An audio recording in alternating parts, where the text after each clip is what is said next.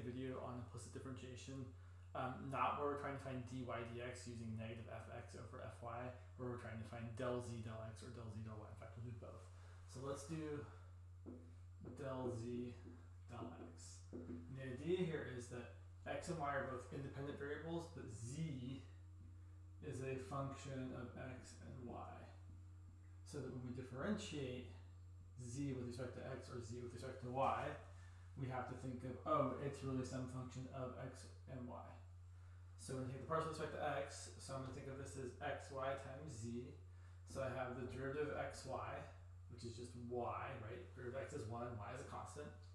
Derivative z, oh sorry, times z, right, product rule. So it's derivative of this times this, plus this times the derivative of this, which is del z del x. Right hand side, the derivative of the natural log of some stuff is 1 over the stuff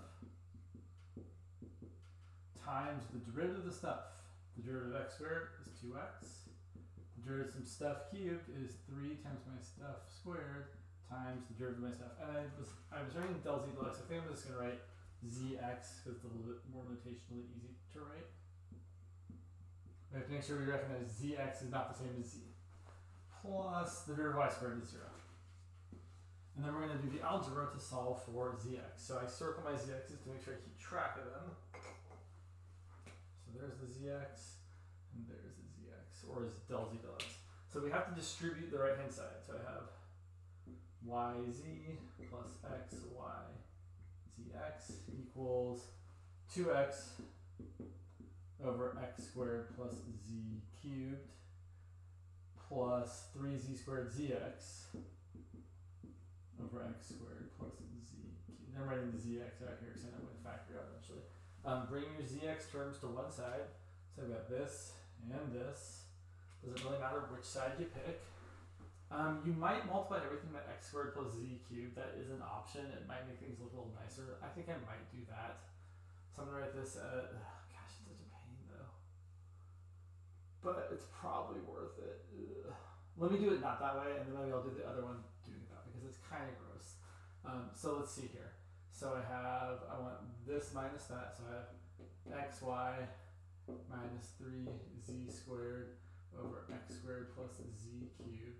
And I'm going to factor out the zx in that same step, right? It would be xyzx minus 3z squared over that times zx. Factor it out. Equal to 2x over x squared plus y cubed minus this yz here. Finally, solve for zx. So zx equals all this divided by all this. Yeah, and I think actually maybe multiplying by x squared plus y cubed at the end here is going to be easier. So it's this divided by this. It's an xy minus 3z squared over x squared plus y cubed. It's kind of gross.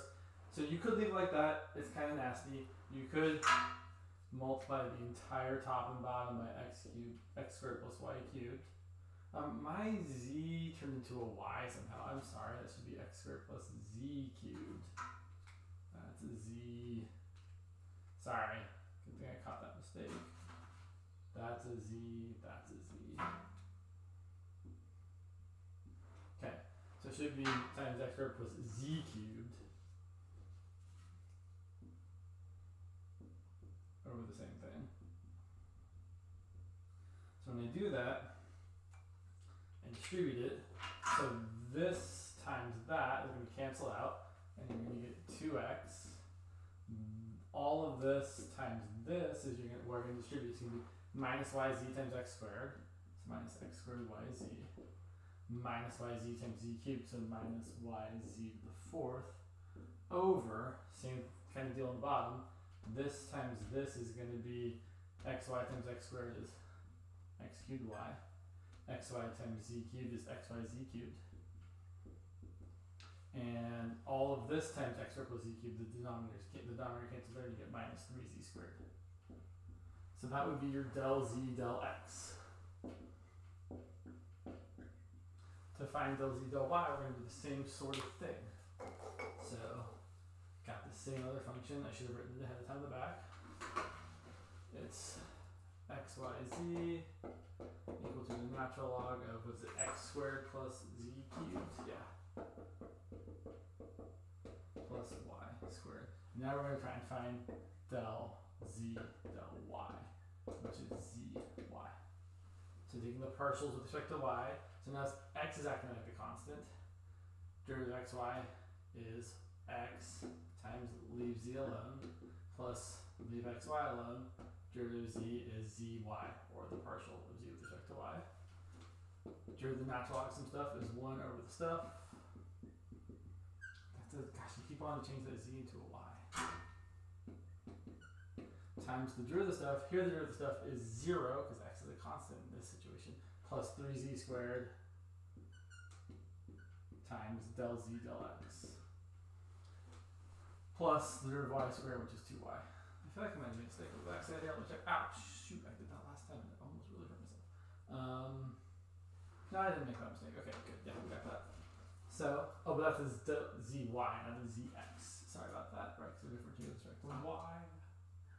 So then we do the same sort of algebra. Um, I'm trying to get these terms on the same side, right? All the things with y, zy. I don't have to distribute here, so I can just bring like, say I've got zy times xy minus all this without the zy. So that's 3z squared over x squared plus z cubed equal to the 2y that's over here minus the xz from over here.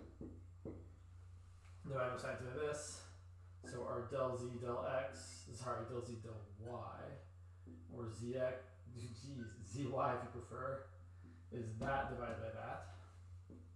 So 2y minus xz divided by xy minus 3z squared over x squared plus z cubed. And then could, again, you could multiply by x squared plus z cubed on top and bottom. So you don't have fractions in fractions. On top is going to be kind of gross. Uh, let's do the bottom first. So the bottom is going to be xy times x squared plus z cubed is going to be x cubed y. That's that times that. And then x, y, z cubed. And then minus this times that is going to be just minus 3z squared. And that's all of this times all of that. And then on top you have to FOIL that, so you get 2yx squared, or 2x squared y. You get 2yz cubed there, You get minus xz times x squared is minus x cubed z. And minus xz times z cubed is minus xz So that's how you would do an example like that with implicit differentiation. Hope that helps clarify things.